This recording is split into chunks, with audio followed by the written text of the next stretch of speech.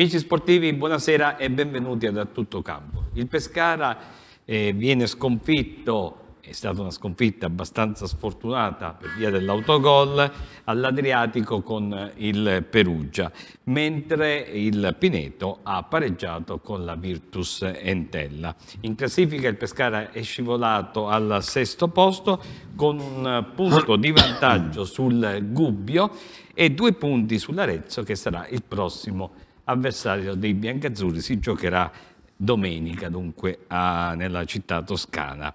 A rischio anche i playoff? Ce lo chiederemo con gli ospiti di questa sera che presento. Un saluto a Walter Nerone. Buonasera Walter. Buonasera, buonasera, ben ritrovati. Ben ritrovato a Giorgio Repetto. Buonasera. Ciao Pierluigi, buonasera a tutti quanti. Questa sera non è a Pescara, ma è qui nella sede di Giulianova. Silvio Sarta, buonasera. Ho, ho fatto un po' di chilometri, buonasera a tutti. Buonasera. Andiamo agli agli ospiti di Pescara dove troviamo Alessandro Alberti. Buonasera Alessandro. Buonasera a voi. Ciao a tutti e auguri di buon anno innanzitutto. Grazie. Ciao, grande. Un saluto anche al musicista Simone Pavone che ritroviamo. Ciao Simone. Ciao, buonasera a tutti, ben ritrovati, anche da parte mia un buon anno. Grazie. Abbiamo naturalmente in studio Manuel eh, che eh, ci presenterà un, una vignetta. Di che cosa ti occuperai questa sera? Allora, innanzitutto buonasera a tutti e come ti stavo accennando prima dell'inizio della puntata realizzerò un qualcosa riguardante l'autogol o comunque la sconfitta che il Pescara ha subito contro il Perugia e più tardi vedremo cosa realizzerò. Bene, allora a questo punto sigla.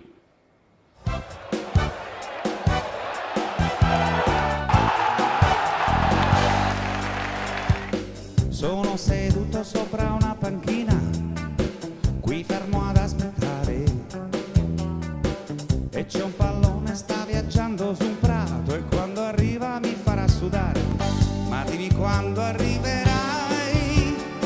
Son così teso, questa palla non arriva mai. Chissà che faccia che farai.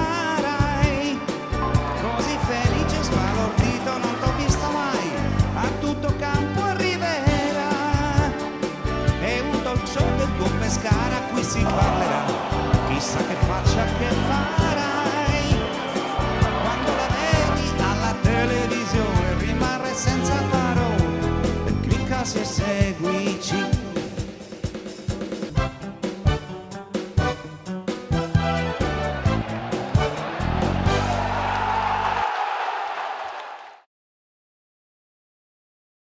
Soddisfatto per la prestazione perché avevamo di fronte Perugia che a parte ultimi acquisti è una buona squadra, esperta e si è visto. Noi magari ci siamo cascati 5, 5 ammonizioni nel primo tempo, per me sono troppi, anche lì forse la squadra si è innervosita un po' e in più no, quando sbagli il rigore ti fai autogol, prendi palo e non vinci, è, è brutto, ma ci dobbiamo, ci dobbiamo risvegliare. È rimesso in campo Vergani, Vergani oggi forse non, non, è riuscito a fare come avrebbe dovuto. No, io sono contento di quello che ha fatto a parte il rigore, lui i rigori di tira di solito forte, questa volta ha cambiato non so perché e abbiamo pagato. I fischi e le critiche del pubblico alla fine? Io non sento mai fischi, voi li dite, è normale, ripeto, abbiamo perso la partita, i tifosi non possono essere contenti come non siamo contenti noi.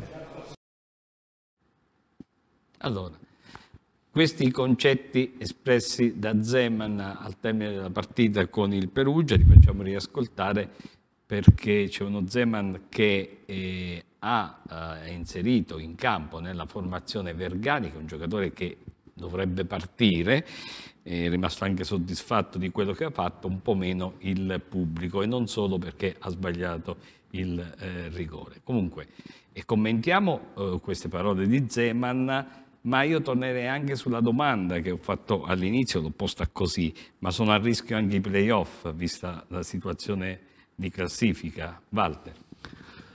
Oddio, la classifica è ancora abbastanza corta. Eh, escluso il primo e secondo posto ovviamente. Quindi ci può stare che arrivi terzo, ci può stare che vai fuori. Non vedo al momento il pericolo così, eh, infatti praticamente hai quattro punti dal terzo posto e quattro punti dal decimo. Eh, non mi pare di vedere per, pericolo incombente anche per non se ne vogliano gli Però altri. hai l'Arezzo. Sì, ma tranne l'Arezzo non mi pare di vedere corazzate là dietro, no? Eh, in grado di cacciare fuori il Pescara dai playoff. Teoricamente Lentella potrebbe voler tentare il riaggancio e pure il sorpasso, ne avrebbe sulla carta qualche titolo, ma eh, se il Pescara regge il ritmo mh, non, non vedo il pericolo di andare fuori dai playoff. Certo che fare i playoff dal settimo posto eh, piuttosto che dal quarto o dal terzo cambia moltissimo perché non solo te li devi fare tutti come succede se arrivi quinto o sesto ma addirittura se arrivi ottavo o nono ti devi fare tutte le partite iniziali con lo svantaggio di eh, avere un risultato quindi sarebbe gravissimo finire lì eh, quindi non vedo il pericolo incombente, ma inviterei a non sottovalutare l'evenienza. Dopodiché, se il mister è contento della prestazione con il Perugia, eh, che cosa bisogna dire? Mica gli si può dire non devi essere contento. Io spero che poi nello spogliatoio abbia detto cose un po' diverse, perché il Perugia ha fatto sicuramente il minimo sindacale, ma il Pescara, a parte qualcosina all'inizio, ehm, diciamo sì, il rigore fa pensare a chissà che, il rigore si può anche sbagliare. Fra le tante sciocchezze che si possono fare in campo, sbagliare un rigore secondo me è uno dei meno scandalosi. Eh, Quello che mi pongo io il problema invece, per esempio, è perché fai giocare Vergani se tu Qualcuno mi ha fatto una battuta, l'ha fatto giocare per fargli salutare il pubblico. Alla fine, insomma, il saluto non è stato dei più affettuosi. Se, è- eh, se saluto si rivela, se invece resta come è ancora possibile, eh, io considero un- diciamo, un'altra opportunità persa e un altro modo di, di- di aumentare la confusione che già c'è. Ecco, a proposito di confusione, Giorgio, eh, continua eh, Zeman ad affermare che eh, Cuppone corre, corre, ma fa confusione. Ma eh, alla fine, quando è entrato, direi che ne ha fatta un po' meno di quella che c'era prima. Ma io non so se vado controcorrendo, oddio, forse la penserai come me, ma a me pare che stia facendo un buon campionato. Si apre un passaggio facile per i centrocampisti, forse non ha quelle caratteristiche di palleggio che magari cercava anni fa Zeman nei centravanti, di Baiano e qualcun altro, però eh, il suo lavoro, credo che abbia fatto anche, ha fatto 7-8 gol, 7 gol, quanti gol ha fatto? 7, anche poi quando è entrato domenica, ha fatto, lunedì ha fatto, ha fatto bene per quello che si poteva fare, mi sembra, ha preso un sacco di punizioni, ha fatto ammonire i giocatori avversari, è arrivato al tiro, per poco fa un gol di tacco eh, sì. eccezionale. Cioè, non dico che è un gran giocatore, oggi credo che sia l'unico, anche perché Tomasini l'abbiamo praticamente mai visto. E, la E non lo vedremo. Eh? E E non lo lo vedremo. E quindi Vergani l'altro giorno ha giocato quando non si, sa- si è sempre letto sul giornale che era in partenza. Io, ecco, questa è una cosa un po' Sembra che abbia rifiutato anche la Carrarese. La cosa che mi ha fatto un po', che mi ha sorpreso è stato le due partite in cui c'era un giocatore come Manu che era, era sicuro che andava via e non aveva più giocato e ha giocato il primo tempo, credo almeno, poi l'aveva cambiato. Sì, sì. Domenica ha giocato Vergani, che nessuno se l'aspettava, e credo che lui tenda sempre Zeman a, a stupirci. Però a prescindere da quello mi sembra che il Pescara, la, la partita sicuramente il risultato più giusto era un pareggio perché sono state due squadre che si sono equivalse il Pescara, ecco questo è il colpo di tacco di, di, di Cupone, il Pescara in attacco ha fatto qualcosina in più, delle- qualcosa in più delle- del, del- del Perugia, era anche giusto che lo facesse visto che giocava in casa, insomma aveva una possibilità di, di mettere, di, di superare il Perugia. in Perugia il pari no? andava bene. Sì, è logico. Poi, capitata questa disavventura che può succedere, cioè, non- ci ha creduto eh, nell'azione chi era che il giocatore del Perugia che si è involato sulla sinistra, ha messo questo cross e, e può capitare di, di- di- di- sbagliare l'intervento, poi è andata a finire proprio nel 7 la palla. Però, però la, la partita, onestamente, il Pescara l'ha, gioca- l'ha giocata discretamente, poteva anche vincerla, poteva pareggiarla e purtroppo poteva anche perderla.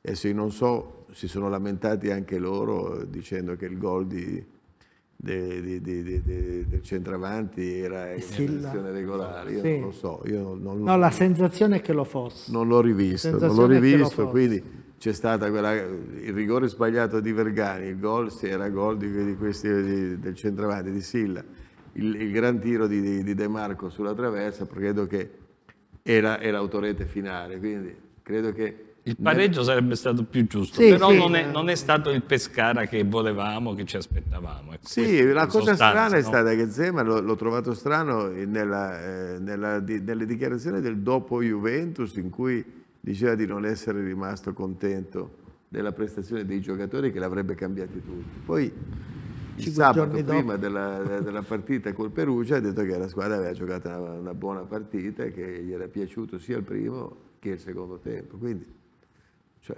sono rimasto un, un- un po' così.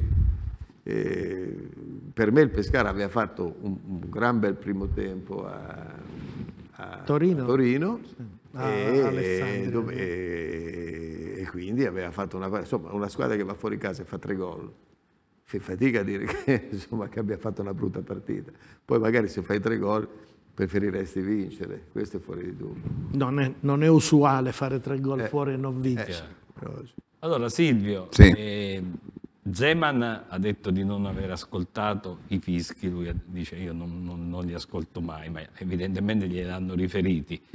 Eh, però i fischi ci sono stati, secondo te ha ragione?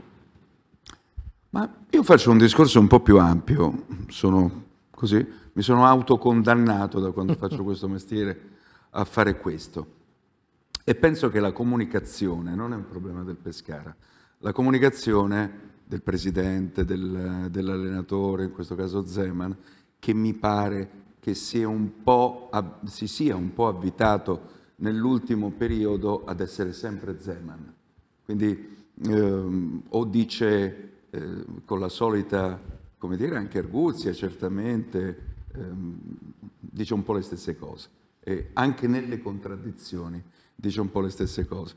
È una comunicazione un po' piatta e oltretutto credo che sia anche e continui ad essere insidioso fare questo discorso, per quanto sia inattaccabile, delle che ho sentito fare anche dal Presidente nelle dichiarazioni post partita, però il terzo posto è a quattro punti, però corriamo più degli altri e corriamo più degli altri. Anche questa è, è un po' una dichiarazione strana, eh, perché se si corre più degli altri si dovrebbe essere lucidi negli ultimi minuti. Mi sembra che la lucidità negli ultimi minuti, al di là della sfortuna, ma parlare sempre soltanto della sfortuna è una vecchia e brutta abitudine del calcio o di altre cose, anche quando esiste, anche quando esiste, perché allora negli ultimi minuti il Pescara è sempre sfortunato o comunque è già la terza, quarta volta in questo campionato che è sfortunato. L'intervento, per quanto disgraziato e scomposto che ha determinato l'autogol,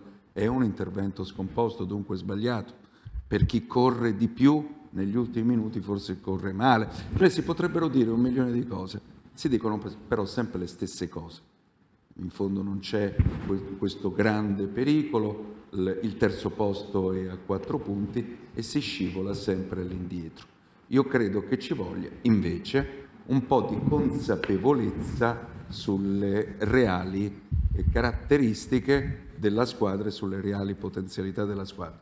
Al mio fianco, con gioia lo dico, c'è Repetto che è l'autorità assoluta da questo punto di vista che mi ricordo alcune settimane fa prima della Fermana, con un pizzico di ottimismo, ha detto comandano i numeri, sono d'accordo, e con una tabella ci sono delle partite assolutamente abbordabili, se si vuole recuperare facciamo nove punti. Ed era ed è stato nei pronostici una, una dichiarazione assolutamente fattibile. È arrivato un punto su nove. La tabella, purtroppo, secondo me, non si può fare e non si deve fare. Questo è un Pescara bipolare, suo malgrado, che dopo, eh, che dopo prestazioni fantastiche, quattro gol in trasferta, incappa nelle serie nere, però troppe volte. Zeman mi sembra, ripeto, eh, in qualche modo incartato nel suo essere Zeman e da un giorno all'altro tutti bravi, tutti meno bravi, fino alle dichiarazioni finali che, insomma, vabbè, allora nel calcio bisogna vincere, bisogna fare un gol in più. Vabbè, d'accordo, lo sapevamo, inutile fare le interviste per, per avere questa grande, eh, questa grande certezza.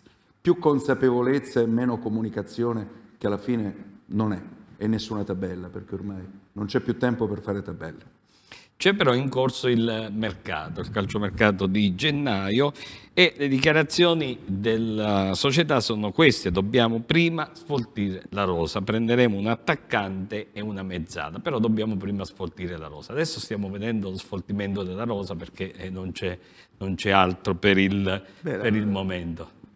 Mi sembra che già in parte sia stata sfoltita, no? Perché... Sì, però non abbiamo visto ancora no, no, l'attaccante della mezzala. Ecco, vabbè, questo. però i 3, 4, 4, 4, che sono andati, i giocatori sono andati via, ci sono, no? Mi sembra. Sì, sì, sì, certo. Portiere di riserva, Manu, eh, Tommasini e Mora, giusto? Sì. E forse adesso ci sono Vergani che potrebbe potrebbe andare via e vedremo poi chi, chi se, verrà. Se la Carrarese mi dicono che l'ha rifiutata, se mm, era cercata da Carrarese forse perché l'allenatore che ha preso lo conosceva, lo conosceva già, non lo so, comunque mi dicono che l'ha rifiutata la Carrarese, poi può darsi che sia anche una questione. Non verrà a San Nipoli?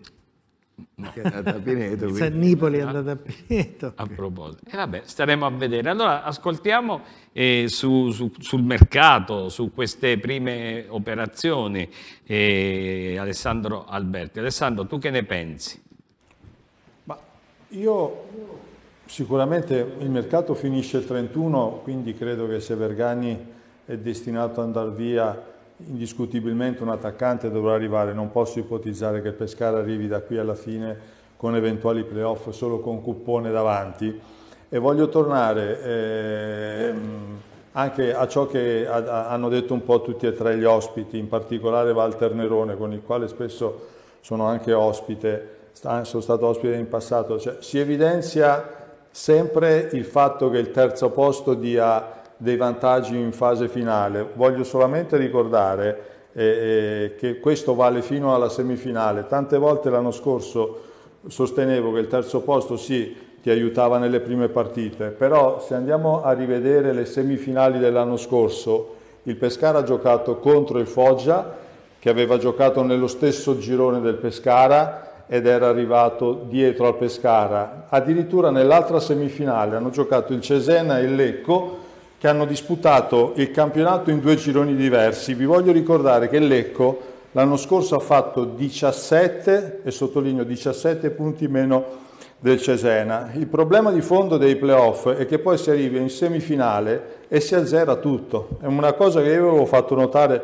se Walter si ricorda, più, più, più di una volta. Quindi sì, è vero che arrivare terzi dà il vantaggio delle prime partite, però anche questo format che a me non piace no, non mi trovo d'accordo nel momento in cui tu arrivi alla 44esima giornata di campionato e vedi praticamente azzerato tutto ciò che hai fatto prima. Quindi credo che nel Pescara, nel caso del Pescara, stando il format uguale a quello dell'anno scorso, stando anche a ciò che ha detto Silvio Sarta, con il quale concordo che questa è una squadra che ha alti e bassi, quindi tutto sommato eh, eh, ha la posizione in classifica che si merita, credo che forse al di là di, di, chi debba arrivare a Pescara, forse sia importante per il Pescara arrivare in una condizione fisica buona nelle partite che contano. Poi se arrivi terzo o quarto lascia un po' il tempo che trova. Certo è che l'anno scorso è fuori discussione che le squadre che sono state massacrate, penalizzate da, da, da, dal format dei playoff sono stati il Pescara e il Cesena, perché il Pescara nonostante si sia fatto acciuffare al 97esimo, al 98esimo, non avrebbe mai e poi mai dal mio punto di vista disputare nei supplementari né nel calcio di rigore. Nell'altra semifinale il film, il film è stato il medesimo, quindi l'Eco ha fatto 17 punti del Cesena e oggi è in Serie B. Il Foggia è arrivato rincorrendo perché ha, ha, rimontato delle partite clamorose, credo una col Monopoli da 0 a 3 a 4 a 3, ha fatto un, un cammino stratosferico, però poi alla fine, eh, a conti fatti, il terzo posto ha lasciato diciamo, il tempo che, che, trova. Quindi diciamo che evidentemente la, la, posizione in classifica vale fino a che poi arriva lo spareggio. Non mi piace che nel momento delle, delle semifinali francamente venga riazzerato tutto ciò che hai fatto negli 11 mesi prima. Mi, mi sembra una cosa veramente fuori luogo. Bene, allora eh, ascoltiamo a questo punto anche Simone. Simone, che ne pensi tu della, della mm, reazione del pubblico? Abbiamo già detto dei, dei, fischi, ma anche di qualche striscione che eh, adesso vedremo che è stato messo, credo, allo stadio. Insomma, c'è una profonda delusione e un attaccare un po' tutti a partire dalla, dalla società. Sì, eh, queste sono le, le, le condizioni no, eh, che purtroppo ci troviamo a vivere quando la squadra vive questi alti e bassi. Poi sappiamo benissimo che Pescara è un ambiente umorale, quindi si fa condizionare nel bene e nel male di facilissimi entusiasmi quando la squadra regala eh, bel gioco e belle prestazioni e risultati e poi si lascia insomma, eh, cadere giù in una sorta di depressione eh, quando le cose vanno male.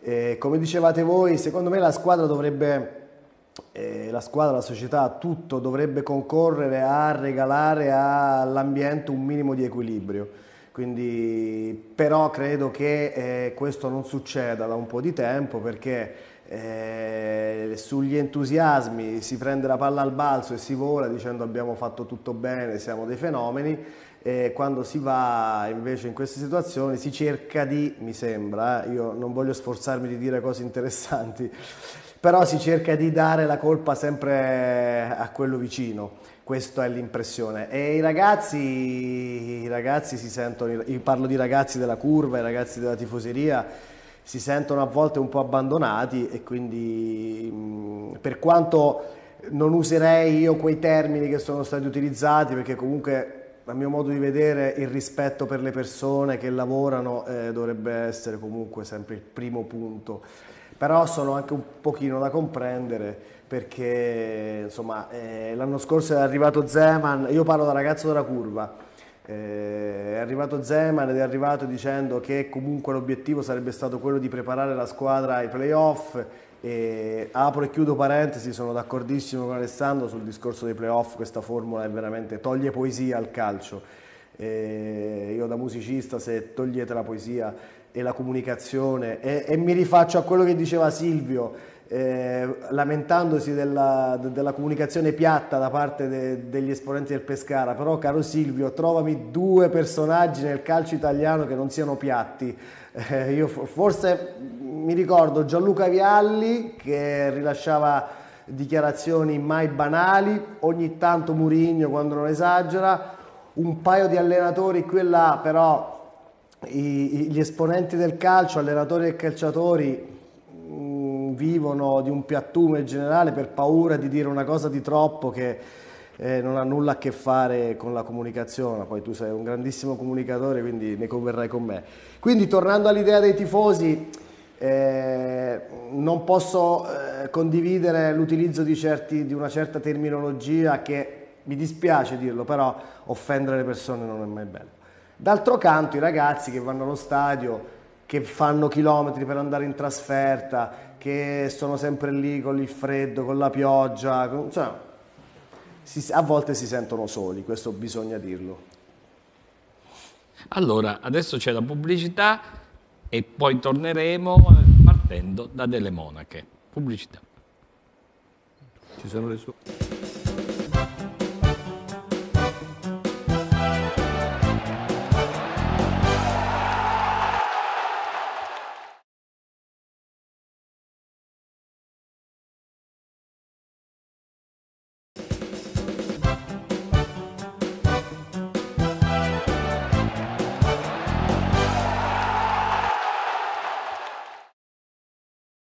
Sì, Beh, torniamo in diretta quando sono le 21 e 29, anzi 21 e 30 in questo momento. Stavamo parlando della, della punizione eh, che in effetti poi l'arbitro aveva concesso e poi ha annullato. eh, Allora, eh, le- l'arbitro aveva preso una topica aiutato dal- dall'assistente L'assistente. dal lato dei distinti che evidentemente aveva visto meno di lui.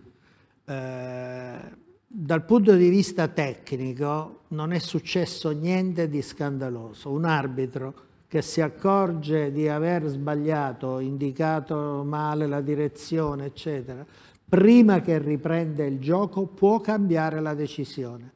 Quello che in questa situazione fa gridare allo scandalo e sotto certi aspetti diciamo, non gioverà alla carriera dello stesso arbitro è la percezione nitida che la correzione gli sia stata suggerita.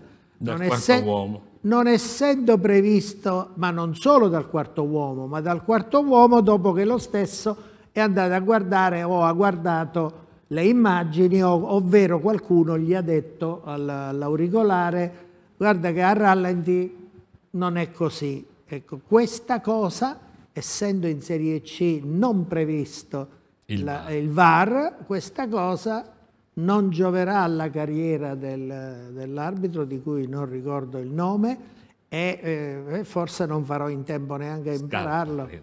perché non me l'aspetto a breve scadenza su palcoscenici interessanti se si comporta così. Io dicevo prima con Giorgio, ai tempi nostri del, diciamo, del, del calcio un po' più paesano, l'arbitro in questi casi ricorreva al famoso fallo di confusione, tu fai battere la punizione, appena parte la palla, fischi un fallo, eh, la palla la dai all'altra squadra e va bene tutto così. E, e tutelava un po' anche la, la sua valutazione. Allora, eh, prima ho detto parleremo di delle monache. Stavo guardando, però ti Sì. volevo dire questo, stavo guardando le immagini e ho visto il rigore di Vergani, no?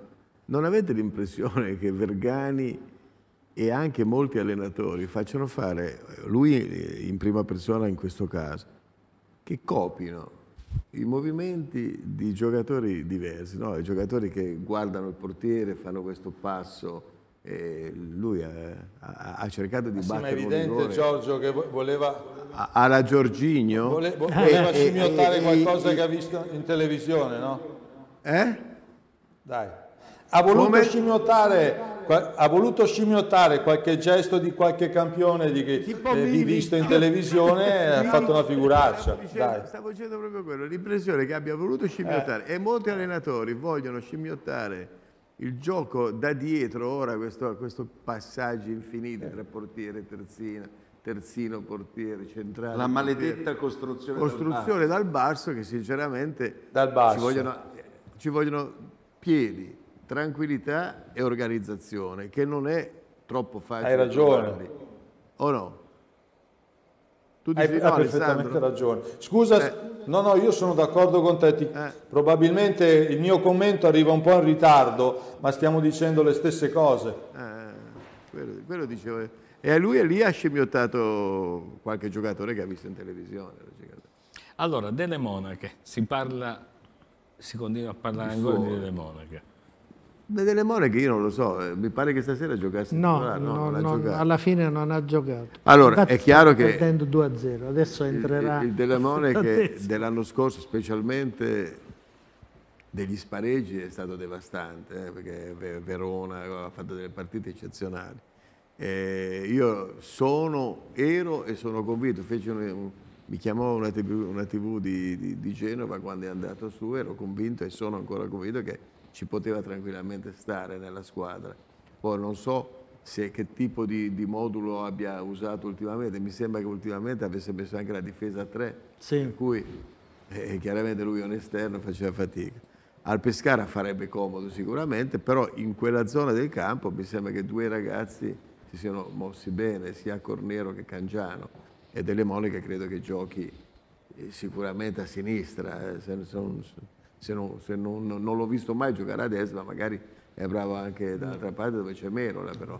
Quindi potrebbe essere un passaggio buono, ma io credo che Delle Monache possa avere mercato in questi sei mesi finali di Serie B, anche, anche in Serie B in qualche altra squadra che non sia la Sandoria. Ma io eh, fossi procuratore delle Monache, mm, come dire, farei, mm, farei, minare tutti i ponti piuttosto che riportare delle Monache. Beh, sarebbe, sarebbe un, insomma, un, passo indietro in questo momento. Non, eh... Lui è un giocatore che se, se va in una squadra... E io penso che fisicamente Zeman l'anno scorso l'avesse veramente poi messo su bene, perché era molto diverso nella struttura fisica di fine anno confronto all'inizio, era un po' ragazzotto così, invece quando l'ho visto giocare negli spareggi fisicamente stava benissimo, tonico, bene, correva a tutto campo, ha fatto delle partite eccellenti. Credo che se vai in una squadra che gioca 4-2-3-1, 4-3-3 e gli danno la possibilità di giocare 2, 3, 4 partite di seguito, lui secondo me fa bene. Ma allora a questo punto il Pescara cerca sempre l'attaccante l'attaccante è probabile... Eh, Silvio che si trovi nelle ultime ore di, di mercato, insomma, perché è avvenuto quasi sempre così con il Pescara. Il giorno del, eh, della chiusura del mercato si sono fatte operazioni più o meno in fretta. Vedi qualche personaggio, tra virgolette, all'orizzonte che possa fare al caso del Pescara per quanto riguarda l'attacco? Ma guarda, non lo so, io mh, mm, ho letto nelle ultime ore che di un interessamento particolare nei confronti di un, di un, giovane, un giovane, che gioca in Olanda. In Olanda, Danimarca. Eh, se non sbaglio. Allora qui si entra, come sanno tutti ormai, non soltanto a Pescara, in particolare a Pescara, si entra in un discorso ancora più scivoloso delle, delle manovre o comunque dei calcoli dei procuratori che fanno arrivare le trattative, anche quelle sensibili, eh, fino all'ultimo istante. È un'abitudine, credo, sulla quale, almeno nel breve termine, nulla noi, virgolette, osservatori, meno che mai tifosi, possano fare qualcosa e quindi ogni, ogni, ogni pronostico è assolutamente inutile da questo punto di vista. Se mi consenti un istante, un uh, giudizio invece sulla, sullo striscione, sull'atteggiamento dei tifosi ecco. che, inevitabilmente, che, inevitabilmente, poi tracimano nelle, nelle invettive, eh, nelle volgarità. Io devo dire eh, che la tifoseria del Pescara è assolutamente esasperata, come poche altre, io credo nel panorama significativo almeno della Serie B e della Serie C. È una tifoseria esasperata e a mio avviso questa esasperazione, esasperazione sportiva però poi quella calcistica, eh, travalica, molto spesso che ci piaccia o no, è sempre stata sottovalutata. Io veramente vorrei che non si sottovalutasse più eh, questa esasperazione dei tifosi e lì la comunicazione, eh, ha detto belle parole nei miei confronti, lo ringrazio. Simone, ciao Simone, come stai? ma la comunicazione diventa ancora più importante, deve essere meno paludata, deve essere meno ammantata di superiorità, deve essere più chiara, anche se a volte può costare l'impopolarità. Io sono sicuro che i tifosi del Pescara, che sono moltissimi tra l'altro quelli giovani, apprezzerebbero di più una comunicazione eh, meno, meno mascherata e anche più umile e, e sarebbero meno esasperati. Vabbè, Poi, per carità. È una comunicazione schietta, scuola marchese del grillo quello che Ecco, fuori, eh. noi siamo noi e voi non siete. Niente. Però, però, però, voglio dire, clima esasperato, ma l'altra sera, eh, ma quello striscione comunque non si accetta.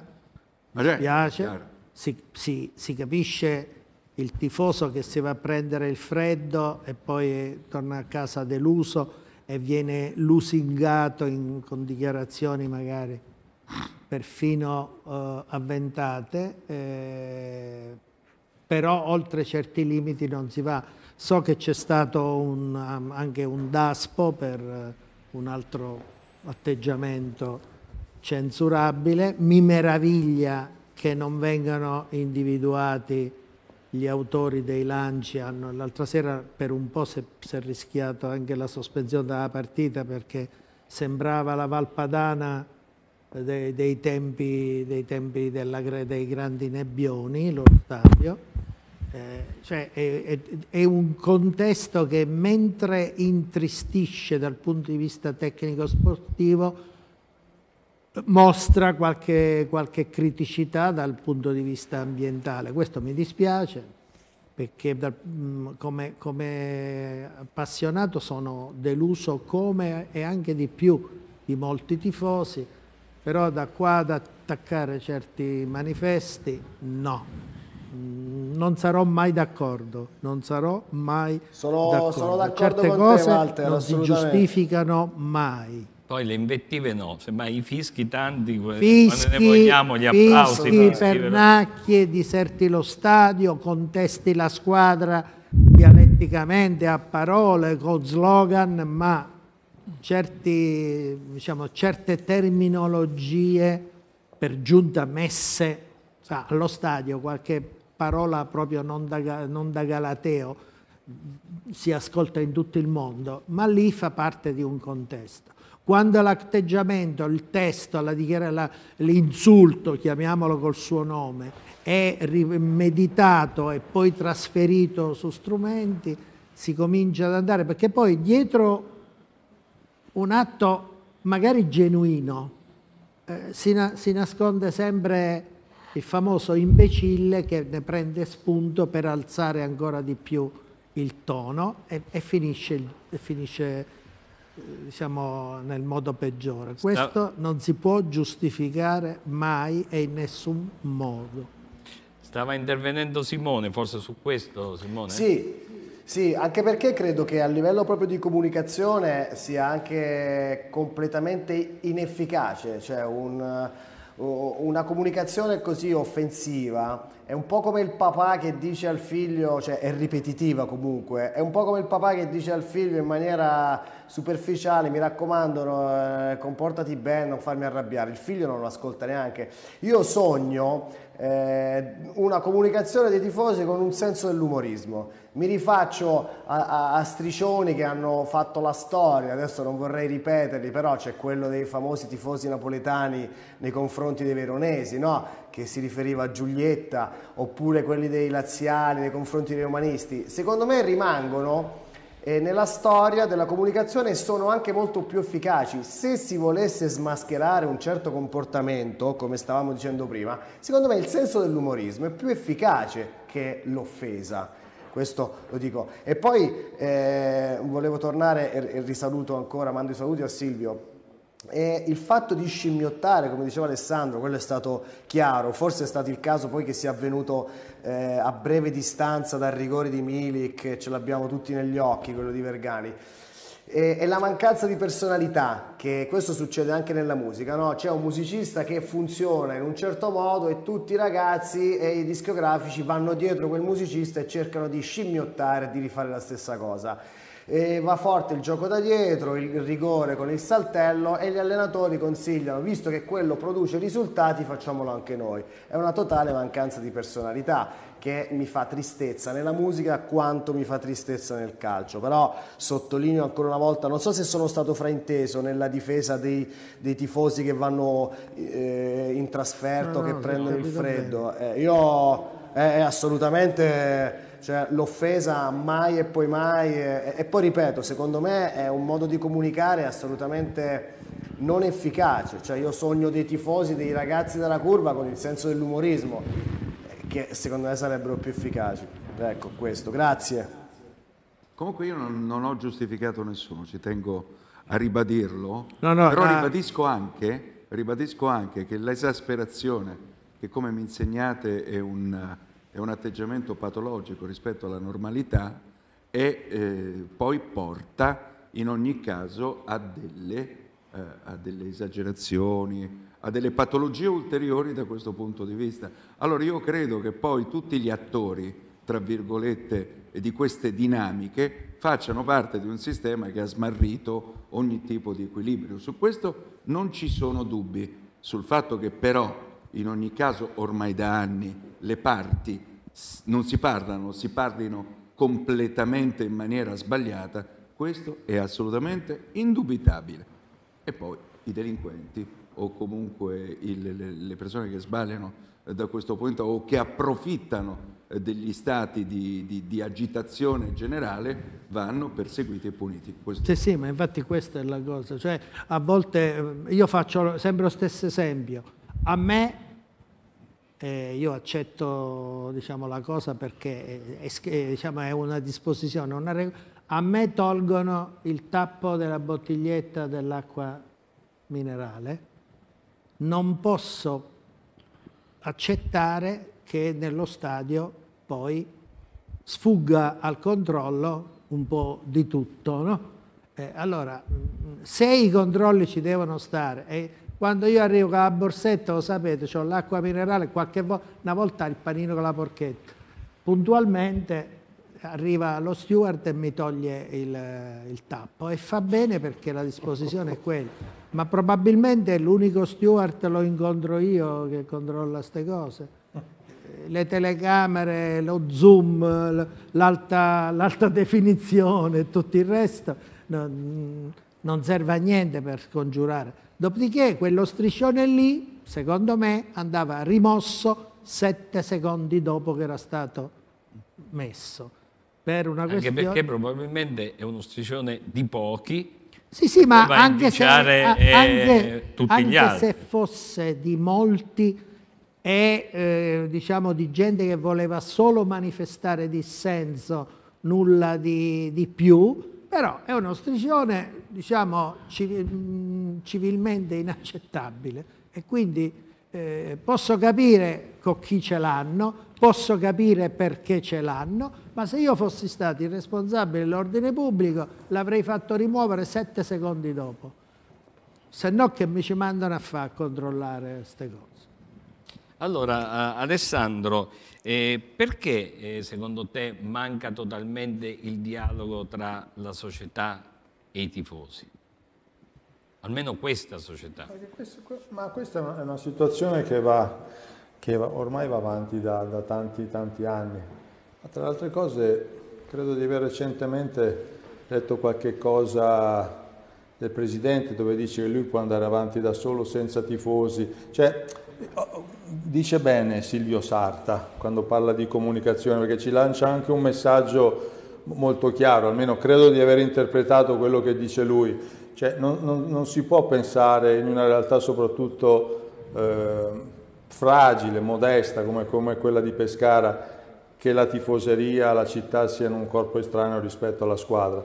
Però questa, questo, questa, frattura, questo distacco non è una cosa di oggi. La situazione di oggi è figlia di, di, di tante annate vissute a, a, livello proprio di rapporti ne, nella stessa maniera. Poi indiscutibilmente sfociano in striscioni offensivi dove non sono d'accordo, dove non ero d'accordo quando ingiuriavano le figlie del presidente con co, co i generi e quant'altro, questi sono, questi sono, comportamenti che io non, non tollero, però è, è, la situazione di Pescara, per chi vive Pescara, è, è questa, è questa purtroppo. E mi dispiace eh, che, che, che sia così, perché poi, vedi, adesso io ho fatto riferimento prima agli spareggi, per riaccendere la fiammella dell'entusiasmo della gente ci vuole poco, però mi sembra che ogni volta nel, nel momento in cui c'è una piccola speranzella di poter ripartire, accade sempre un qualche cosa e si risprofonda poi sempre nello stesso clima. Di questo sono molto molto dispiaciuto. Allora abbiamo la pubblicità, qualche minuto, poi torneremo in diretta.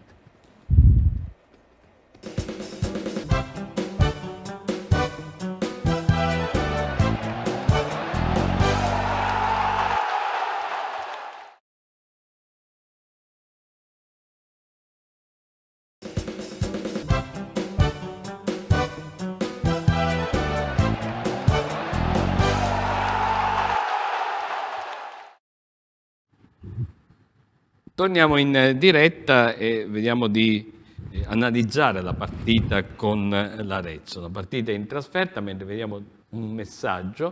Buonasera, francamente pensare di fare i playoff con questa squadra mi sembra esagerato. Purtroppo manca l'esperienza, sono troppo giovani e anche troppo fragili. Un anno perso, Ivano. Eh beh, la, la, politica dei giovani, Giorgio, oh, è questo, la fai o non la fai, oppure a Pescara non c'è questa progettualità, si fa a seconda di, di cosa Allora io eh, viene. credo che abbiamo già detto all'inizio dell'anno, cioè è una politica che hai potuto fare o tentare di fare e non è detto che finisca male perché siamo ancora a metà campionato, perché hai puntato sulle capacità di Zeman di, di, far giocare questi ragazzi, far giocare i giovani, di fare un calcio offensivo, un calcio spettacolare. Credo che come attacco, non so se, se, se è il primo, ma è uno dei primi sicuramente come, come, come, come gol fatto. La puoi fare e logicamente prendi qualche giocatore venuto qui definitivamente e qualcun altro l'hai preso in prestito da squadre importanti. Ogni tanto va bene, ogni tanto va male. Adesso il, il, problema è se tu non riesci a fare il salto di categoria quest'anno, l'anno prossimo 99 su 100 avrai, dovrai rifare un tipo di, di squadra simile, perché insomma quest'estate io credo che ce la ricordiamo tutti, no? sia Nipoli che doveva venire qui e venne fuori la dichiarazione ufficiale della società per cui e loro chiedevano 70.000 euro e il Pescara più di 30-40 non poteva spenderli. Oggi eh, tu mi dicevi all'inizio della, della, trasmissione, hai detto che si poteva fare mercato dopo le uscite, è chiaro che puoi fare un, un, un mercato ridotto, nel senso che puoi andare a cercare dei giovani eh, eh, sfruttando le tue capacità come hanno fatto, hanno trovato De Marco, hanno trovato eh, Gasso nelle giovanili, hanno trovato giocatori. E qualcuno in prestito, Moruzzi e via dicendo, a Cornero, quindi sono stati presi questi giocatori, ma se non riesci a salire l'anno prossimo dovrai ricominciare da capo.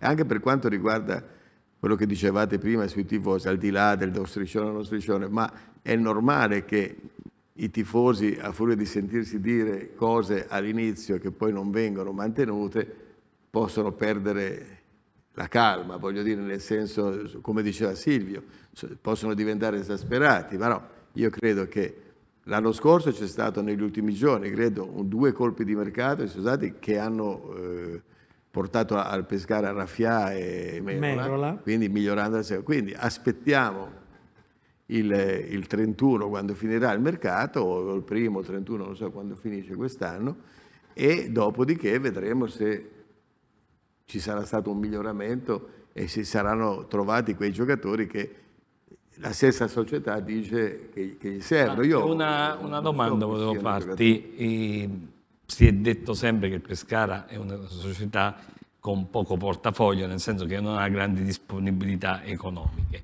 Se però guardiamo eh, la storia eh, del Pescara degli ultimi anni, eh, vediamo che comunque ci sono state cessioni molto molto importanti, anche molto, eh, che hanno portato alla società eh, somme consistenti e grandi spese non ce ne sono state. Allora, se facciamo un, eh, un bilancio, tra virgolette, tra quello che la società, tra diritti, eh, tra oneri pubblicitari, eccetera, ha incassato e quello che ha speso, a occhio da profano a occhio sembra che ci sia comunque una differenza notevole a favore del pescare. Io credo che a occhio, io forse l'ho già detto l'altra volta, facendo i conti della serva, però negli anni dal 2011, l'anno in cui Zeman ha vinto il campionato, fino al 2021, l'anno in cui Pescara è, è, rimasto in B, ci sono stati otto campionati di B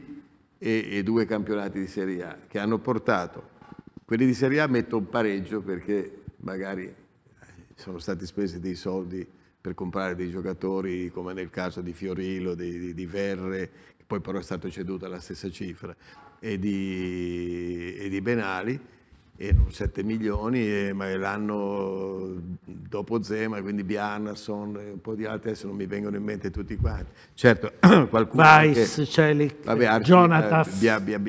eh, Bianchi Arce, eh, Caraglio. Caraglio, insomma ne sono venuti un po' le, le spese, quello è Cubas. dopo, è arrivato dopo, è venuto l'anno di Serie B.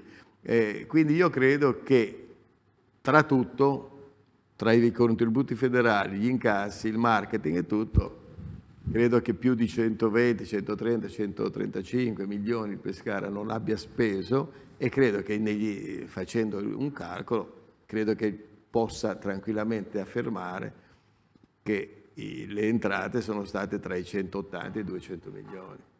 Quindi credo che ci sia stato un avanzo di, voglio rimanere basso, 30-35 milioni, ma secondo me sono stati anche di più.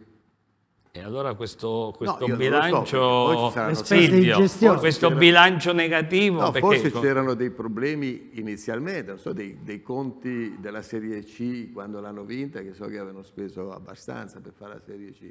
Può darsi, io adesso io parlo di questi dieci anni. Silvio. Ma a onor del vero, secondo me non esiste dirigente al mondo che possa o voglia rispondere a questa domanda nel momento in cui si ipotizzano e, e- e Giorgio, se parla in questo modo, lo farà a ragion veduta delle, o comunque de- de- dei tesoretti, no? che, siano, che siano da qualche parte o da qualche altra parte. Sta di fatto che a mio avviso qualsiasi profano può capire con, con delle semplici ehm, addizioni eh, che con i diritti televisivi, i campionati soprattutto di Serie A, le, le fugaci apparizioni in Serie A, quei soldi, in ogni caso, i paracadute, le- tutte le cose che esistono, eh, quei soldi non possono in alcun, in alcun modo, anche dopo anni, far dire più di 30.000 euro non possiamo spendere. Ecco, questo, questo secondo me è proprio una, una contraddizione, una contraddizione lampante, a meno che poi eh, questi soldi non siano usati, magari correttamente, ci mancherebbe ehm, indirizzati altrove per quanto riguarda Il problema- spese, cose di questo genere. Non lo so, problema però da- mi sì. sembra impossibile. Il Pineto li ha spesi 30.000 forse per, Sì, eh, per. San Nipoli. No, No, ma il i- Pineto. Il problema è,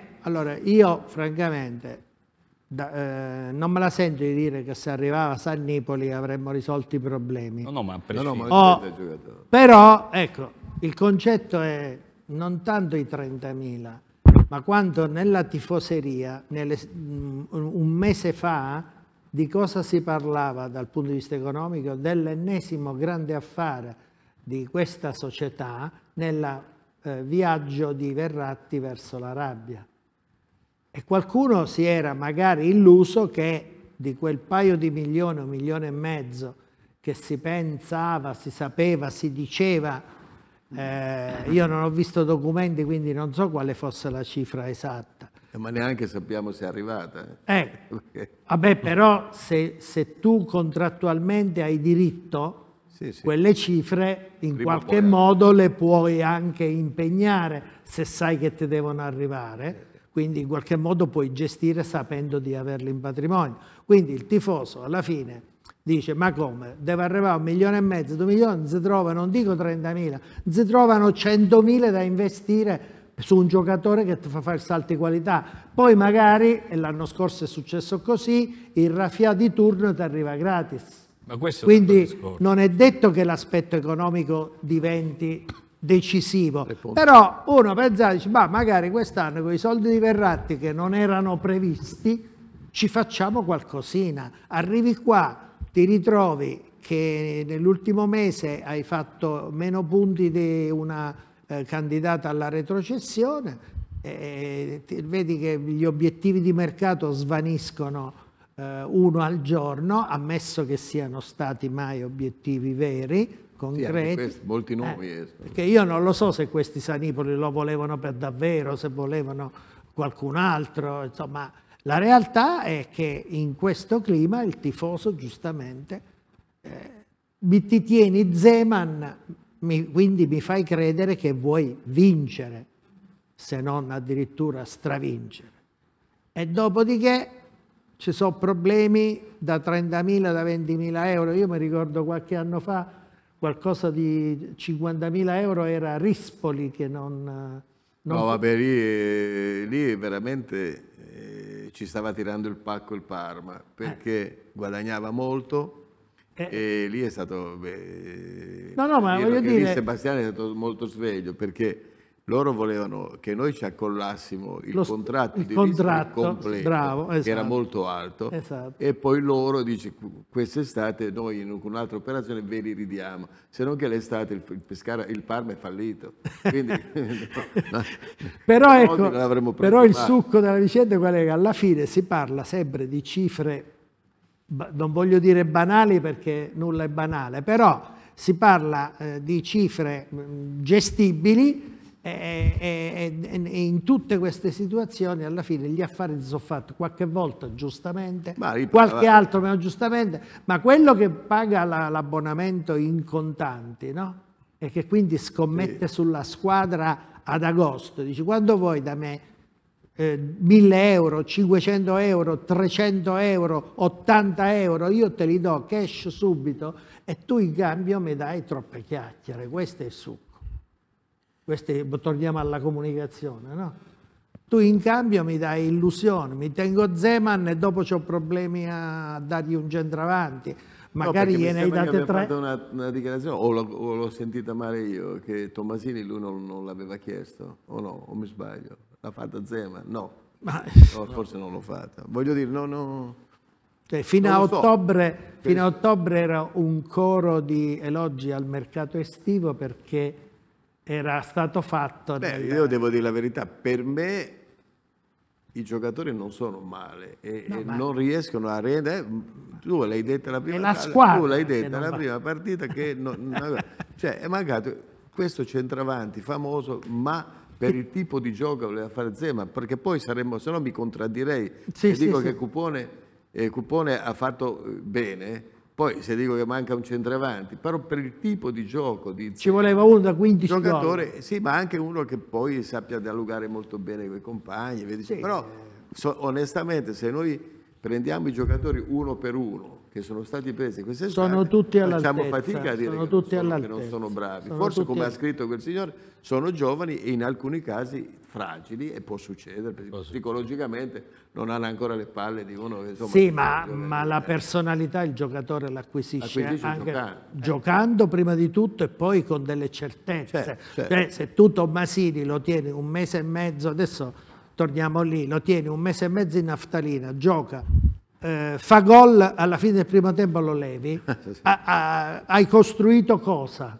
Hai costruito cosa? Se di Cuppone dopo una prestazione diciamo un po' meno brillante del solito, mi dici sì sì corre corre ma non sa dove e perché e, e la settimana dopo ti accorgi che non ne puoi fare a meno, non stai costruendo una squadra Tra diciamo- parentesi, io, eh, se riprendiamo il gol di Torino, di Torino, di Alessandria di Cupone, di Cupone è stata un'azione bellissima, Miero la Cupone con doppio scambio e ha appoggiato la palla praticamente da, a un centimetro dalla porta, quindi Certo. azione bri- zemaniana. eh, molto zemaniana, rapida, veloce con l'uomo che va in Vorrei chiedere a Alessandro, eh, noi stavamo parlando prima dei soldi del Qatar, dei soldi di, di Verratti, eccetera, ma poi c'è anche il problema dei bond. Cosa ti dice questa cosa? Cioè, insomma, c'è- ci, ci sono tante persone che stanno attendendo. Alessandro. Diciamo che l'em- l'emissione del bond è evidentemente questo non è calcio, matematica e finanza. Diciamo, le- le- la- le- le- l'emissione del bond è stata una richiesta di liquidità, però devo dire, devo dire che è evidente che se una società emette, emette un bond lo fa perché ha bisogno di denaro, cioè se io fossi un investitore cioè, investirei in titoli in borsa, mi, mi- mi- mi- affiderei a un private broking, eh, ba- banking, ma non- non- di certo non andrei a investire su un bond di una, di una società qualsiasi. È, stato- è stata un'operazione fatta, credo che chi abbia sottoscritto il bond fondamentalmente fosse stato co- consapevole che ci poteva anche essere il rischio che diciamo, il, ri- il rientro eh, potesse essere eh, po- posticipato. Eh, sì, è, è un'altra, è un'altra, dire, è un altro episodio di, di, di, questa, di questa, storia de, de, de, del Pescara odierno. Mi sembra che anche il Genova abbia fatto un bond, se, no, se non erro male, perché anche lì sono legati un fondo, però poi che, che ha 3-4 squadre, poi hanno emesso un bond, poi hanno avuto un, pro, un processo per ritardati pagamenti di IRPEF. Diciamo che oggi come oggi il modello calcio sta cambiando e, e, e quindi siamo, siamo, in una fase transitoria. Poi nello specifico de, de, della materia finanziaria io no, non, mi, non, non, mi, voglio intromettere perché le cose non le conosco, non le so. Di, di certo credo che a seguito de, de, delle ultime eh, vicende de, del Tribunale, credo che sui famosi bilanci eh, andrà tutto, eh, voglio dire, sarà tutto chiuso senza sapere se e come sono stati fatti, quindi rimarrà, rimarrà un qualche cosa che farà parte del passato e, e bisognerà necessariamente guardare al futuro. Allora, eh, devo dire che questa sera non c'è il collegamento con Alessia che è, fuori, quindi eh, riprenderemo da venerdì prossimo. Eh, vediamo a che punto è Manuel Canigi con la vignetta. Allora, la vignetta è stata terminata e diciamo, ho fatto un po' una vignetta satirica, comunque metaforica, riguardante la sconfitta con il Perugia. Appunto, qua possiamo vedere Zeman che dice di Pasquale, non quella porta, e di Pasquale aprendo la porta, ovvero quella sbagliata facendo l'autogol, precipita e porta diciamo, con sé tutto il Pescara in questa diciamo, sventurata partita. Bella, anche se naturalmente quello che è accaduto a Di Pasquale nel calcio uh, accade spesso, è stato un evidente infortunio, un errore, insomma la prestazione tra l'altro di Di Pasquale è stata anche eh, sicuramente eh, diversa. È stata brillante, è buona, brillante. infatti credo che non giocherà. Certo, ha fatto una bella partita. E, e infatti mi aspetto che vada fuori squadra. Anche questa è ironia, no? Eh, o no? Sì, ma non ho fatto ecco, lo striscione. Ecco. Però non detto... hai fatto lo striscione. Allora, però, vediamo un po' alla però formazione. l'ironia arriva molto. Eh, dimmi, dimmi. No, dicevo che eh, il senso dell'umorismo e l'ironia sono molto più efficaci delle offese o delle urla, sempre, in ogni senso. Quindi anche questa situazione eh, cioè a me rimarrà molto impressa più questa frase che le offese, quindi poi il senso dell'umorismo, l'ironia è sinonimo di intelligenza, no? Eh, quindi, sì. Poi volevo fare i complimenti questa sera a Giorgio perché oltre a grande conoscitore di calcio e ci elargisce consigli, ma questa sera è un grande comuni comunicatore perché io tra le righe eh, sto cogliendo molti aspetti che mi stanno facendo sorridere, quindi sta dicendo molto di più di delle parole che pronuncia, mi piace molto questa cosa. Ma sai qual è il problema Simone?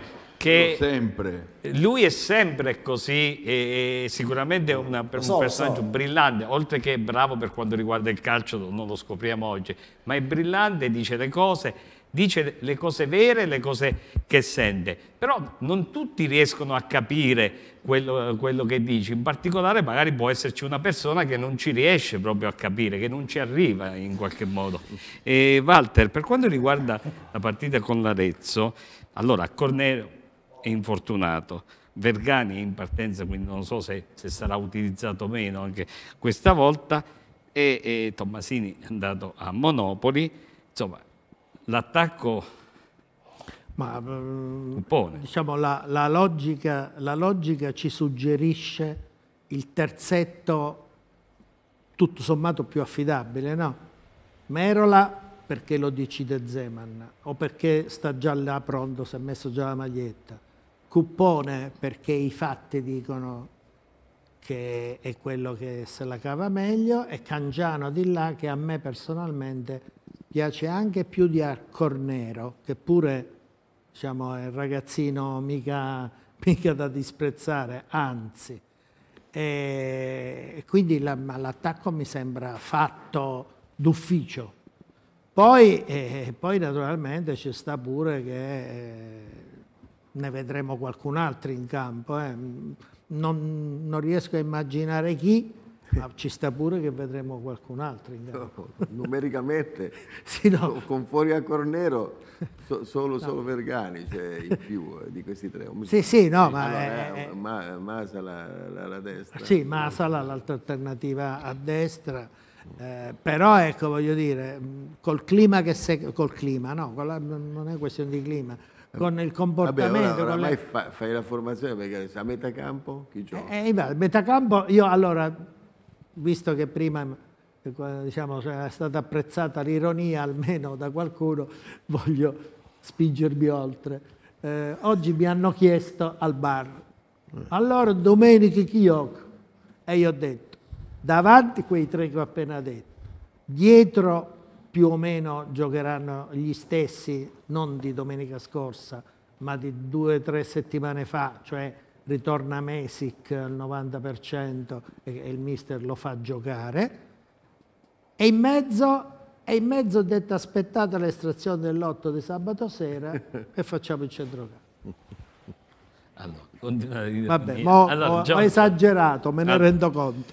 Giorgio, a questo punto, eh, lo stiamo dicendo già da diverse volte, che cosa succede se il Pescara dovesse steccare, che cosa succede? Abbiamo sempre detto ma le cose si complicano. Eh, adesso c'è l'Arezzo che sta due punti dietro, in caso di vittoria andrebbe avanti al Pescara, insomma è una partita veramente delicata, Ti- forse devo- più delle altre. Ti a devo dire la verità che io mentre guardavo Perugia-Pescara, Pescara-Perugia, mi sembravano veramente eh, due squadre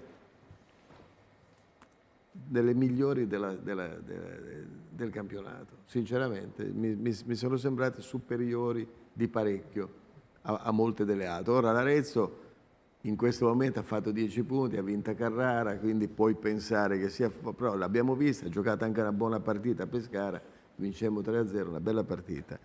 E, e certo, eh, devi stare attento. Adesso guardavate la classifica, non devi fare troppi passi falsi uno dopo l'altro, è logico. Quindi, eh, come diceva Silvio, io ho fatto eh, Fermana, Juventus e quella prima ancora, che non mi ricordo, che anche quella non è andata bene. adesso non eh, non mi ricordo, insomma dicevo che si poteva fare anche nove punti, era- e, e- e ne sono venuti fuori due. Siamo stati smentiti totalmente. Eh? Siamo stati smentiti Due, totalmente. eh, due, due, insomma, eh, sono pochi, eh, o tre o due, adesso no, due, due su dodici. Quindi è, è chiaro che eh, queste squadre qui le devi cercare di battere, cioè il, il Pescara deve arrivare in una posizione migliore, adesso eh, come disquisiva bene Alessandro prima, magari di terzo, quarto, non è molto importante, però Sì, è in una condizione anche eh, di entusiasmo nettamente migliore di quella che ci può essere adesso, quindi deve finire un campionato, ma mancano ancora quante? 17 partite, insomma 17 partite alla fine sono tantissime, no? per cui si può recuperare, però l'importante è rivedere eh, la squadra che faccia qualche risultato, perché poi i risultati ti aiutano a giocare meglio, eh. Cioè, più vinci, più giochi bene, giochi meglio, quindi la squadra ha bisogno di fare qualche risultato e ritornare ad avere entusiasmo e allora a quel punto quelli che possono essere delle fragilità dei giovani diventano invece una componente nettamente eh, superiore, perché i ragazzi sull'entusiasmo fai fatica a giocarci contro, non averli, a giocarci contro fai fatica, perché vanno ai 300 all'ora dopo. Silvio, Arezzo Pescara. Guarda, eh, sono un po' in difficoltà perché eh, tu mi chiedesti il pronostico della partita eh, della, della, mh, contro- Della Roma. Eh, No, no, no, no, no. sono illuso, io sono al 300% dalla parte di Mourinho su questo, però lasciamo perdere perché altrimenti piango. E anche se vogliamo, i romanisti vogliono, noi romanisti vogliamo molto bene a De Rossi. Solo una postilla, no? Il presidente Fredkin, che pilota l'aereo, il padre, tanto decide tutto lui, e che non parla mai, e, e volevo capire però, e lo dico all'esperto di aeronautica, quando pilota l'aereo, poi lui deve parlare con la torre di controllo, cioè lui parla solo con, Eh, ma- con le torri di controllo, poi Non è, detto, non è detto, Non è perché detto. se lui pilota può darsi che la radio ce l'ha il secondo. Le Ah, comunicazioni spetta al secondo. Il figlio. Vabbè, lasciamo perdere perché poi... Perché lì ci si divide i mi intristisco, mi intristisco. Allora dissi che anche perché era nata una querelle, avevo tristamente, penso, ragione sull'inadeguatezza della presenza delle squadre, che poi sono due, under 23 nei campionati di Serie C, che sono, mangiano, ed è capitato purtroppo con il Pescara, dei punti episodicamente eh, a, a- a questa o l'altra squadra e quindi falsano un po' i campionati, perché questo è li falsano. E poi il progetto, secondo me, rispetto poi alla Spagna, che è un altro pianeta, è fallito prima di nascere. È un aborto federale e rimango della mia idea. E dissi che se il Pescara non avesse vinto ad Alessandra sarebbe stata una catastrofe. Ha perso, per cui me ne sto zitto. Però attenzione all'Arezzo perché loro sì, in questo momento, giusto o sbagliato che sia, hanno entusiasmo. Il Pescara non lo ha, lo deve recuperare. Posso dare una postilla su questo fatto delle under 23? quelle- Sì. E se le facessero giocare senza fare classifica? Ed è quello che in effetti si poteva fare. Però lì, o se, fare- se facessero giocare tra di loro, insomma, non lo so, secondo me così com'è non va bene, indipendentemente dal risultato del Pescara. Perché ha ragione, eh, perché poi deve- a volte fanno esperimenti, fanno giocare ragazzi. Ma io non capisco, non capisco perché noi accettiamo, abbiamo accettato situazioni tipo il Salerno di Lotito, Ah. il Bari di De Laurentiis e non ci... e qualcuno... Le quattro squadre di Gaucci. le, le quattro squadre di Gaucci Vero, e dopodiché ci discutiamo e, e- e vale la pena discuterne, sia chiaro, e vale la pena discutere delle seconde squadre. Le seconde squadre sono una situazione trasparente. Adesso, giusto per dire una- un, un- fatto che non è so- soggetto a, di- a interpretazioni, la Juventus, seconda squadra, costretta a giocare ad Alessandria perché c'è sto regolamento che devi avere lo stadio di almeno X post, che cosa sta facendo? Sta costruendo uno stadio da 5.000 e passa posti per farci giocare la squadra B. Quante squadre di Serie C sono proprietarie di uno stadio da almeno 5.000 posti? Che poi mi do anche una risposta. Io conosco una società che non sta manco in C, sta addirittura in eccellenza o anzi in promozione, che ha uno stadio da 7.000 posti, Castel di Sangro, per farci che? Per farci allenare il Napoli una settimana all'anno? Lecco viene obbligata a, fare, a, a dotarsi di uno stadio, dopodiché l'investimento chi lo fa? Il Lecco il Comune? E l'anno prossimo se torna Ma, ma anche, anche il Feral, anche il Feralpi Salò non gioca a Salò, deve giocare a Bravo. Piacenza. Eh? Bravo. Allora voglio dire, eh, le seconde squadre a chi danno fastidio? Danno fastidio a quelli che vogliono continuare a giocare a spese nostre. Pescara gioca all'Adriatico, che piaccia o non piaccia, lo manteniamo anche noi. Eh, non Anche gioca per- nel campo per- suo. Anche perché costa molto. Beh, anche perché costa molto. Soprattutto. Dopodiché po- possiamo discutere di tutto. Secondo me le seconde squadre, se vengono regolamentate in maniera seria, come in Olanda, come in Spagna, come eh, in Germania, come in tanti posti, le seconde squadre sono un modo per, eh, dire, per rinvigorire i cosiddetti vivai, valorizzare i giovani, evitare di spendere troppi soldi diciamo, per coltivare speranze, perché devi cercarli i giocatori nuovi, e come ci dice la storia della Juventus di questi due anni, se il progetto lo gestisci in maniera seria, magari ti escono 6-7 giocatori di- da Serie A. Questo è certo, ma falso Quante altre società italiane hanno tirato fuori in due anni 6-7 giocatori da Serie A? Ma tutto questo è bellissimo, ma se non accade, il- rimane sempre un corpo estraneo la presenza di una o due squadre in un campionato di Serie C. Cioè, lo campionato falsano il campionato, È un secondo voi? ibrido, Ma no, non so se lo no, falsano falsano meno, niente. ma possono rischiano seriamente di farlo. Comunque è il sistema che se n'è andato. Non, non voglio essere catastrofico, ma è così. E pensa, siamo partiti dal, dal pronostico Io- di Arezzo Pescara. Una, voglio- una volta lo voglio dire, ma poi questo è un problema minimo. Abbiamo, scusami Silvio, Eh. non me la posso tenere, abbiamo trascorso più di un decennio a lodare la cantera del Barcellona che gioca, la, la- la- la cantera del Madrid, del Real Madrid che gioca e adesso che abbiamo un, diciamo, un barlume di cantera fra Bergamo e Torino, abbiamo iniziato a smontarlo. Io penso che ci riusciremo a smontarlo, Eh. lo smonteremo perché? Perché funziona e se funziona quel giochino là, molta gente nel calcio farà meno affari. Ma Perché ci sarà meno gente che si presenta qui con due giovanotti presi in un sobborgo di una, di una cittadina dell'Africa e te lo portano con un documento fasullo che dice che ha 17 anni e magari ne ha 25 e te lo porta lì e tu lo cominci a girare fra una società e un'altra a colpi di milioni di euro. Si aprono Perché se- scenari terribili. Eh, altri- Allora no, torniamo ad Arezzo. Non me ne tengo un'altra, eh, vabbè, no. poi torniamo ad Arezzo. Ma veramente un- un'altra non la tengo. Avete visto le immagini di Napoli-Fiorentina a Riyadh in Arabia Saudita per il nuovo stasera c'è stato il quiz. meraviglioso format con le semifinali nella prostituzione più totale che va avanti da anni e che andrà avanti per contratto per molti altri anni ancora per giocare in Arabia Saudita dove ogni diritto sostanziale, civile e tutto il resto è bandito.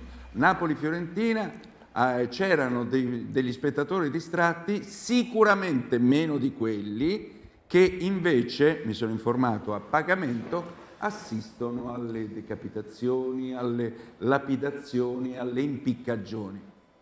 Che bello, eh? su questo sottoscrivo tutto. Che bello, eh? Che ma sì, andiamo in stasera- Torniamo ad Arezzo, torniamo ad. Arezzo. Ma Stasera- è bello. Stasera per Alessandro. l'Inter, Arezzo. per, Arezzo per Pescara. l'Inter non di meno. Che eh. bello. E il futuro. Ma adesso pe- Vai, vai. Ale- A- Alessandro io o Alessandro qualcuno collegato ad Arezzo? Non ho capito, scusa. No, no, no, Alessandro tu.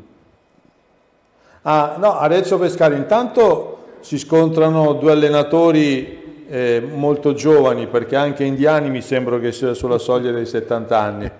Ed è una nota, una, una nota di colore, per essere ironici. E, e il dato di fatto è che l'Arezzo ha subito 30 gol e quindi è una, è una- è una squadra vulnerabile. Penso che il Pescara possa, possa Di cui 11 in casa. possa, po- po- possa giocare. Sul tema del centrocampo ho apprezzato l'ironia di, di, di- di Walter. Io qualche partita del Pescara l'ho vista. Eh, diciamo che i, i due giocatori che io non toccherei sono, sono Squizzato e Tunio, poi, e poi la mezzala sinistra è un, è un giocatore che è sempre ruotato, però effettivamente non va neanche bene che ad ogni partita cambi, lo- cambi questo reparto sistematicamente. Questa è una nota sicuramente negativa della stagione di Poco quest'anno. Spero E poi che- Alessandro non ti, No, no, ma spero- spero- la scusa. regia non ci ha inquadrato Walter che eh, non annuiva, non annuiva quando eh, hai parlato di Tuncio. No, io Ma- pensavo che dicesse squizzato e Aloi. Ecco. No, no, vabbè, lì mi sembra che non li veda proprio l'allenatore coesistere. Però de- de- devo dirti che pro- proprio nell'ottica che questa squadra, come diceva correttamente Giorgio, possa trovare diciamo, un po' di risultati che la possano portare a questi spareggi, eh, diciamo, eh, col vento in poppa, e, e credo che debba, debba scegliere, ormai siamo arrivati quasi a fermare, lui deve scegliere i tre titolari di centrocampo, non si può ogni, ogni domenica assistere a un turnover, il turnover lo puoi fare se c'hai le coppe, se c'hai le nazionali o quant'altro, arriva un momento che a mio avviso devi fare delle scelte. Allora, eh, a questo punto Simone, musicalmente, come la situazione del Pescara, con quale motivo la descriveresti? Una rapsodia, una rapsodia, Rapsodia. eh, che è un genere musicale che all'interno eh, della stesura eh, propone diversi temi, no? che vanno da quelli un po' più intimisti a quelli più rocchettari. La rapsodia più famosa è quella dei Queen, Bohemian Rhapsody, no? però ce ne sono anche nella musica classica. Quindi questo saliscendi, questo poco equilibrio che musicalmente è fatto proprio per andare a scavare, ma forse Zeman lo fa per quello, per andare a cercare di eh, toccare tutte le parti, no? tutti i sentimenti delle persone, adesso a parte gli scherzi, però è assolutamente una rapsodia poco zemaniana, una squadra poco zemaniana, eh, ma questo l'avete detto molto meglio voi.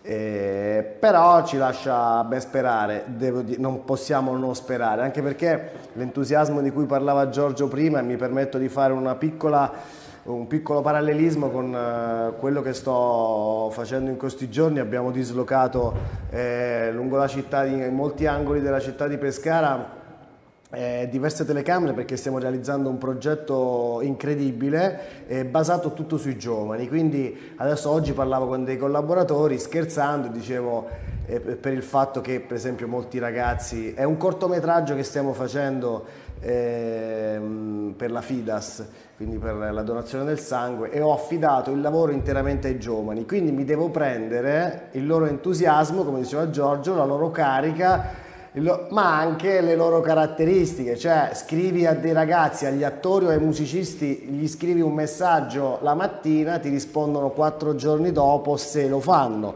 però lo devi mettere in conto, quindi un po' come cioè, se ho affidato un progetto del genere a questi attori e musicisti, eh, mi devo prendere l'entusiasmo, che spero poi verrà fuori. Eh, un progetto, tra l'altro, devo- lo devo dire perché è giusto, voluto dal presidente della FIDAS, la grande Anna Di Carlo, eh, che insomma porteremo sugli schermi tra breve. E devo dire, e chiudo, se posso chiudere, che questa sera è stata una serata spumeggiante, mi posso permettere di dirlo, perché eh, mi hanno scritto anche come feedback alcune persone. È stata una, una trasmissione davvero interessante, in cui c'è stato il Pescara, c'è stato il calcio, però c'è stata c'è stata l'intelligenza, l'ironia e per ricollegarmi al- all'idolo di Silvio Sarta, eh, con una frase di Murigno, eh, abbiamo dimostrato questa sera che chi sa solo di calcio non sa nulla di calcio. Allora, chiudiamo con questa frase. Grazie a Simone Grazie, Pavone e ciao. Alessandro Alberti da Pescara. Grazie a voi. Grazie a voi. Ciao. Grazie agli ospiti qui in studio, a Silvio Sarta, Giorgio Ciao. Repetto, Walter Nerone, Manuel Caringi per la vignetta. Grazie mille, Naturalmente buonanotte. il grazie più grande va alla regia che ci permette di andare in onda, a Pietro Baddassarre e a Francesco Di Carlo. Abbiamo rivisto la vignetta di Manuel e a voi che ci seguite con tanto effetto, eh, affetto da casa. L'appuntamento è a venerdì prossimo, sempre alle ore 21. Buonanotte.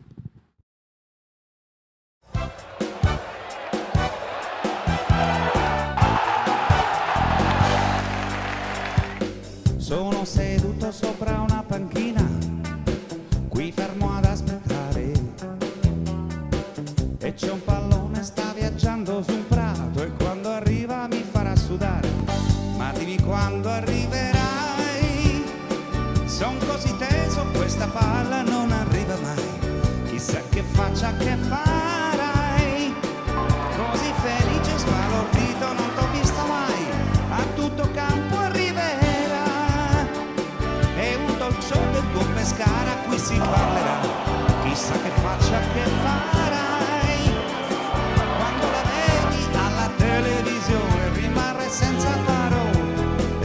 se segui